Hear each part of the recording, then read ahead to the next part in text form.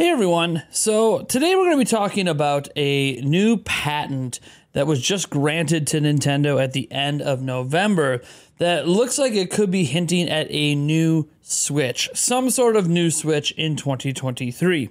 Now, the reason that we feel like this patent could be doing this is due to a consistent pattern Nintendo has displayed in the way that they file their patents really since the beginning of the Nintendo Switch era.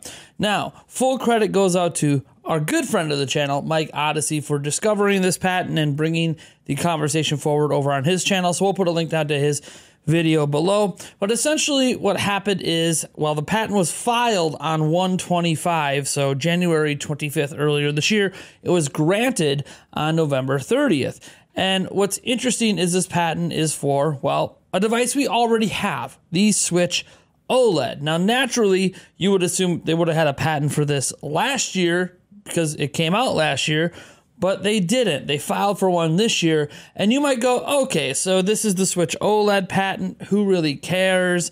It's a device we already have. Why it, does this matter? Well, that's because Nintendo has displayed a consistent pattern over the years before a new device has come out. What's interesting is that the pattern isn't actually about having that new device in a patent, but rather older devices in a patent. So we have seen patent updates for the original Nintendo Switch before the Switch Lite and version 2 Switch dropped. And that update to the Switch patent really didn't talk about new battery or extended battery life or a new chip or anything like that. It was just a minor update to the patent. And then literally months later, they unveiled the version 2 Nintendo Switch and the Switch Lite. We have then seen the version 2 Switch get edited into other patents as well. So Splatoon 3 had its own patent, and then later they edited in a Switch version 2 patent into the Splatoon 3 one, and then we ended up with a Splatoon 3 OLED. Notably, they didn't put the OLED in the patent, it was the version 2. They did the same thing with Pokemon Scarlet and Violet. There were patents around that game, and then they edited in the, well, hey, the version 2 Nintendo Switch to edit it into the patent, and then we ended up getting a Pokemon Scarlet and Violet Switch OLED. So you can sort of see the pattern lining up here that these patents seem to come around, and after they're granted, within months, we get the announcement of some sort of new device. Now, with this being the Switch OLED patent, and the last time we had an updated patent like this uh, was back when we got the version 2 and Switch Lite, it does make you wonder if there's going to be brand new hardware dropping in 2023. Now, this total speculation, of course, but it would be interesting if that's what this patent meant.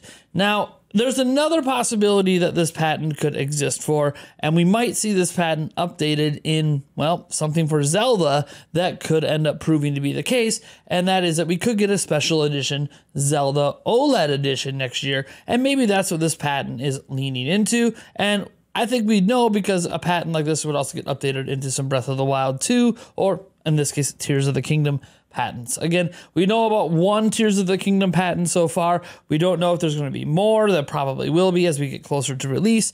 But it's just fun to look at these patents and, and sort of figure out what sort of trending patterns happen with the way Nintendo handles their hardware. And this seems to be a, a, a, consistent trend with Switch is that we get a patent for an older device right before we're getting a new device, even if it's just a special edition. So look, I don't know what this means. I don't know what this means. We're getting a new device in 2023. Are we getting like a Switch Pro or something like that, or a Nintendo Switch 2, or something entirely different? Is it just going to be a Zelda special edition? Heck, what if it's a Fire Emblem Engage special edition? Again, there could be many possibilities here.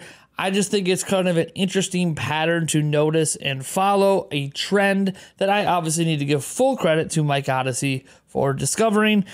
Look, I don't know. I, I think there's also a bit of wanting something. So, as an example, I want a Switch OLED. So, maybe something like this gives you this little false hope of a Zelda Switch OLED or a Switch Pro. I think there's a lot of personal desires from a lot of us for one or the other or both. And with those desires existing, sometimes we will grasp for straws uh, to to try to believe something's coming when we definitively don't know. I definitely can't say that this patent is 1000% evidence that we're going to get something new, but it does just seem to follow a consistent trend. But trends don't necessarily mean anything. All those trends could have just been coincidences. It might not have necessarily meant much, but it's a pretty consistent coincidence. So there at least is a reason to follow the pattern and think something might happen. Plus, I think it would be weird if we don't get a new Switch at the launch of Tears of the Kingdom. Who doesn't think then that we would get a Zelda edition? So I don't know. Maybe we have another coincidence on our hands coming up, or maybe there's nothing. And if there's nothing, then I guess the pattern's broken and we can maybe stop putting credence into it. But until then, this is actually worth probably paying more attention to than some of the random patents Nintendo files because Nintendo files a bunch of random patents on controllers and different technologies all the time.